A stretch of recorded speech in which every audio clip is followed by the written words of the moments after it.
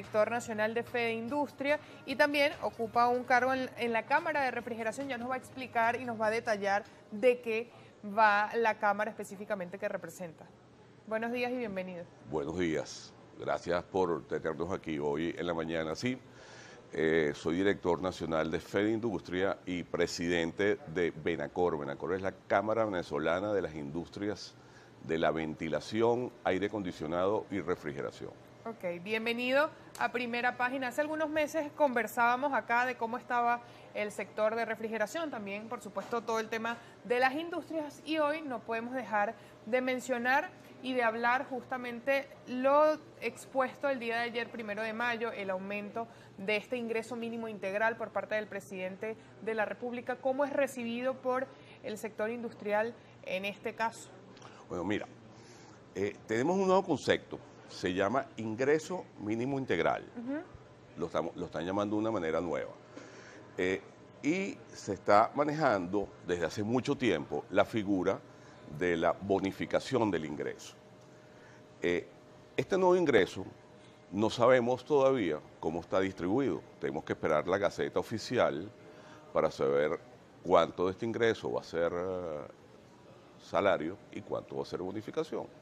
Eso es una decisión del Ejecutivo Nacional.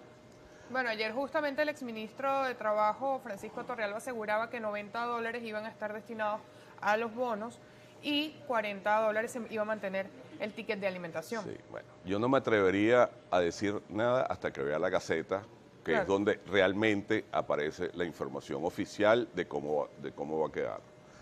Eh, este nuevo, esto, eh, el ingreso, tal como lo han venido manejando, no genera inflación y va a generar una mayor capacidad de compra en el trabajador. El trabajador, al poder ahora tener un poco más de dinero en su bolsillo, puede ir a, comprar zapatos, en vez de comprarse un par que se compraba ahora, antes, ahora a lo mejor se compra dos, y ayuda a reactivar el sector de los zapateros. Eh, cada vez que el trabajador tiene mayores ingresos, eso ayuda a que la economía se active. En algunos sectores... ¿Sea cual sea el monto? Mira, sea cual sea el monto, porque si tú vas a comprarte unos zapatos que a lo mejor te cuestan 10 dólares, porque existen y hasta de menos, este, y antes te podías comprar uno, a lo mejor ahora te puedes comprar dos, y te puedes comprar uno para ti y uno para tu hijo. Eh, eh, la economía, se, cuando cualquier sector se activa, la economía crece. Cuando el trabajador tiene mayores ingresos, la economía crece. Y sobre todo en este entorno que tenemos ahorita, donde se ha mantenido estable la paridad de la moneda con el dólar y tenemos una inflación de un dígito desde hace varios meses.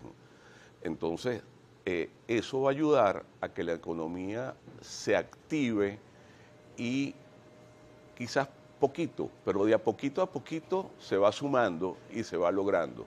¿Y cómo queda en ese escenario el salario? Porque justo desde FEINDUSTRIA se había presentado una propuesta hace varios meses a propósito del diálogo tripartito de que se fuera aumentando paulatinamente el salario mínimo y haciendo énfasis en una de las propuestas era que el primero de mayo se aumentara un poquito. ¿Cómo queda esa visión, esa propuesta en este escenario que se vio el día de ayer, primero de mayo? Mira, yo veo que esto, en este momento esto es un punto de arranque, es un punto de inicio para, ¿para qué? Para que se pueda ir recuperando el salario, pero no solamente es el salario, porque todo lo que implica el salario, que es el seguro social obligatorio, eh, eh, la ley de vivienda y hábitat, todo lo que tiene que ver con, con el INSE, todo eso se tiene que ir recuperando y para poderlo recuperar tienen que irse subiendo los salarios, porque acuérdate que del, del, salario es de donde salen claro, todas las contraprestaciones. Las, las, contraprestaciones que le dan las empresas y los mismos trabajadores para pagar eso. Y yo creo que esto es definitivamente un punto de arranque, esto no es el fin. Eh, Industria propuso un aumento escalatorio. Entonces iremos viendo qué es lo que va pasando en los próximos meses, porque la economía no se para. Y la política es la que decide la economía o las leyes que van a regir la economía.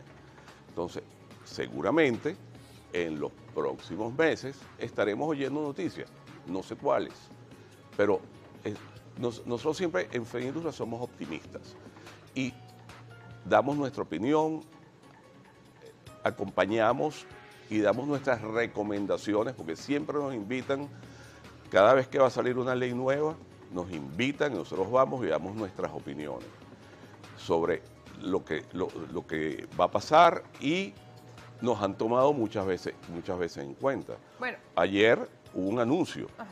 Va a haber una nueva ley que tiene que ver ya vamos a hablar de esa ley después de, después de esta pausa, de cómo lo recibe Fe Industria y de cuáles son los planteamientos al respecto, también para ver la visión de los industriales en ese sentido, entendiendo que, por supuesto, los primeros meses del año se quejaron todos los sectores productivos de lo lento que inició, del poder adquisitivo que había disminuido del venezolano, cómo asume Fe Industria este sector, esta propuesta de ley que va a establecer un aporte mensual de los empresarios para destinarlo a las pensiones. Eso me lo responde después de esta pausa de primera página. Son las 7 de la mañana, 31 minutos. Regresamos.